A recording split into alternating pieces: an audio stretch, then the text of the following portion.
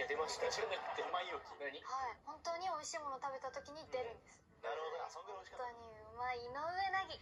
出ました今入れて。ないじゃんだって芋むめって言ったらもあるし悲しいの上凪。え？出ました。悲しい井上凪。いやゆっくり言ってんじゃんもうだって。俺は3文字だからいいんだって。元気なの自己紹介でやって。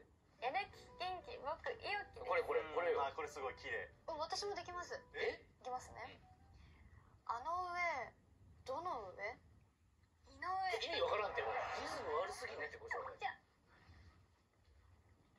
お疲れなぎちゃん。疲れなぎ消えてない。